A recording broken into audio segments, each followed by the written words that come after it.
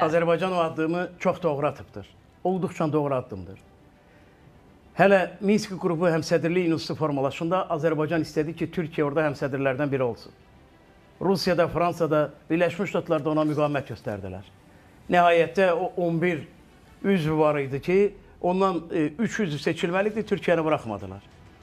Türkiyə Fransa kimi başqa ölkəyə, e, başqa ölkənin, başqa bölgənin daxili işlərinə qarışmır. Türkiyə Qafqaz dövlətidir.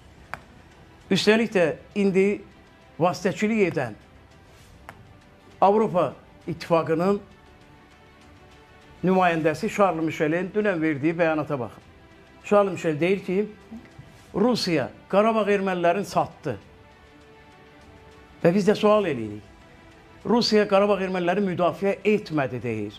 Azərbaycan əməliyyatları başında heç bir müdafiə işi görmədi deyir Rusiyanı. Baxın bunlar necə siyasət aparırlar. Ermənistan Rusiyanı vurmaq üçün mütləq deyir ki, Türkiyəni Qafqaza buraxmamaq lazımdır.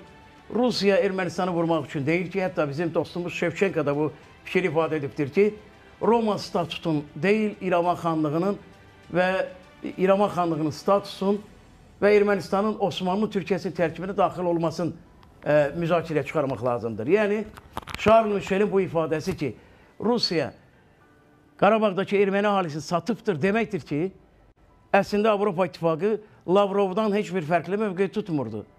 Özünə tərəfsiz deyən, özünə neytral deyən, əgər vasitəçi deyirsə ki, e, Rusiya erməniləri satıbdır, nə etməli idi? Azərbaycan özünün e, suveren ərazilərində lokal xarakterli antiterror tədbirlər aparanda Azərbaycana qarşı savaşmaşmalı idi. Yoxsa Charles Michel separatizmin Azərbaycan ərazisindən kökünün kəsilməsinin əleyhinədirmi? Baxın, mövqeyə baxın. Fransanın Xarici İşlər Naziri Ketrin Kalonla gedib İrəvanda deyir ki, Azərbaycan güya etnik təmizləmə apardı və e, Ermənistanı silahlandırmaq lazımdır. Güya Ermənistanın ərazi bütövlüyü təhdid altındadır və s. Fransanın tutduğu mövqeyə aydındır.